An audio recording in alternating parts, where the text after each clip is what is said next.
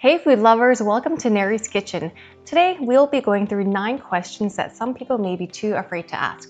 Remember, there is no such thing as a stupid question and we all need to learn in some way or another. I've done my fair share of cooking and have worked with so many knowledgeable people on the show. So answering cooking questions like how much water do I need to cook rice or do eggs have to be refrigerated are all really great things to ask because we will all want to save some time and money. Let's get started. Okay, so the first question that I received was how to cook rice. It's actually pretty simple. Um, so basically you need two cups of water for every one cup of rice. Also, you can easily double the recipe or reduce the recipe if so. So remember, two parts to one. Um, and also just make sure that you're using a pot that's large enough to hold the rice as uh, the rice does cook and expand out. Um, so the first step that you want to do is you want to rinse your rice until the water comes out clear. It's about, I would say, two or three rinses. Um, you want to bring the rice and the water to a boil. And then once it reaches a boil, you want to simmer the pot with a lid until um, the water is absorbed into the rice. Just want to make sure that you don't mix the rice because if you mix it, it's not rice anymore. It'll become kind of like uh, like congee almost. So make sure you don't touch the rice, don't mix it. And this whole process should take about 15 or 20 minutes. Or there's another way you can always use um, the finger method. Uh, I'm actually don't use a finger method. It's too complicated. But some people tell me you can use your fingers and make sure that the water hits a line on your finger, right, Jerome? Yes. okay, second question is wild caught salmon really healthier than farm raised salmon? The answer is yes. Um, the reason why it's healthier is because there's more usable omega-3 fats and there's significantly fewer antibiotics and pesticides and there's no synthetic pigments added for color. Also, it's more environmentally responsible. Third question I have here is, is it true that eggs that have never been refrigerated don't actually need to be? The answer is yes. Fresh, unrefrigerated, and unwashed eggs can be stored at cool room temperature at around 75 degrees for up to two weeks. Guess you didn't, I didn't know that before, but I actually had to look it up.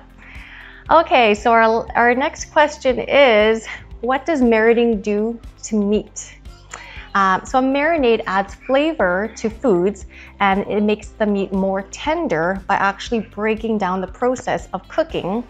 This action can be due to acidic ingredients such as vinegar, wine, or fruit juices, or enzymatic components such as pineapple, papaya, guava, or ginger. Okay, one of my favorite questions, what's the best way to melt chocolate? honestly, just if you have chocolate, chop it up into small pieces. The smaller, the better. That way it melts faster. Um, so what you can do is you can melt in the microwave for 30 second intervals. And then every 30 seconds, just make sure that you stir it completely until it's smooth and then put it back in the microwave to keep melting it. Um, you just have to be careful because chocolate does burn, which is why we say watch it every 30 seconds. Pasta. So what's the best way to boil pasta? I get this a lot. Um, honestly, you know what, just make sure that you have a big pot um, and make sure you have lots of water. Your pasta needs lots of water to boil. You want to um, make sure that the water is boiled first, uh, and then you can add your pasta into the water. Make sure that you just stir it a couple times just to prevent the noodles from sticking together. Um, and cook it according to the package directions to make sure that the noodles are al dente, which is firm, not mushy, right? And you want to just stir it occasionally until it's your desired texture. And then you want to drain it and then toss it with your sauce. Don't rinse it because once you rinse it, then you wash out all of the starches, right? And you want your sauce to stick to your pasta, so make sure you don't rinse it. Okay, another question. What side of the foil are you supposed to cook on? Uh, it's funny you ask this because I was actually looking on my foil for directions, right? There, there is nothing on it, but technically the shiny side. Um, but the difference is so small, so who cares, right? Potatoes, potatoes. So technically the shiny side, if you don't use the shiny side, not a big deal. Okay, burgers. What's the best method for cooking a burger indoors at home without a grill?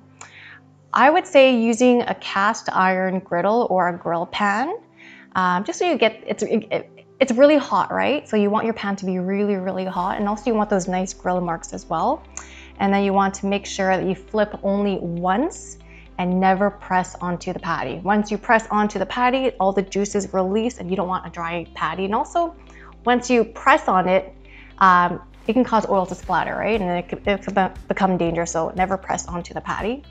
Make sure that you open your window to air out your home as well. You don't want your smoke alarms to go off, right? It's actually happened to us before. okay, so turkey. Does turkey really make you sleepy? The answer is yes. And the reason why it makes you sleepy is because turkey contains tryptophan. Uh, and tryptophan is an, an, amino acid that the body needs to make vitamin B3 and uh, serotonin and a hormone that helps you relax. So yes, turkey makes you feel sleepy. All right, so those are all the questions that I have today. Um, thank you guys so much for watching. If you guys have additional questions, feel free to message me or make sure you comment um, in the section below. And uh, thanks, for, thanks guys for tuning in. I'll see you next week. Bye guys.